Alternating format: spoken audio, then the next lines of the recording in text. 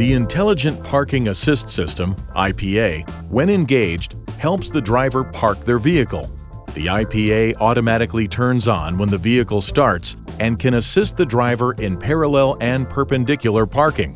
The IPA system uses ultrasonic sensors located in the front and rear bumpers to measure distances.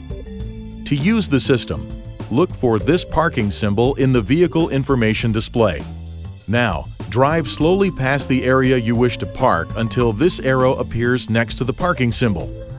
The arrow indicates that the IPA detected a parking space large enough to fit the vehicle. Stop the vehicle and place it in reverse.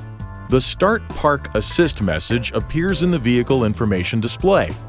Press the OK button on the steering wheel to engage the IPA or the Go Back button to cancel IPA. After pressing the OK button to activate intelligent parking, the message Observe Surroundings appears. Next, release the steering wheel and back up very slowly. Watch your surroundings and apply the brake as necessary.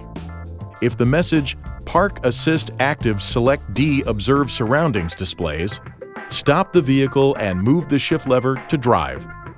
Slowly drive the vehicle forward until the Park Assist Active Select R Observe Surroundings message appears.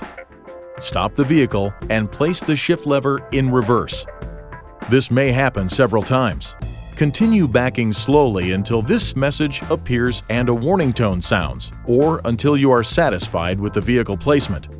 Place the transmission in park and set the parking brake. The system cancels when you turn the steering wheel, press the parking sensor system off switch, drive faster than 5 miles per hour, or apply the parking brake. The parking symbol disappears and the Park Assist canceled message appears. The system automatically turns on again when the ignition switch cycles from off to on. If you parked the vehicle with IPA, you may also use the IPA to exit the parking space. To exit, start the engine. Release the electric parking brake place the turn signal switch up if you are leaving the parking space to the right or down if exiting to the left.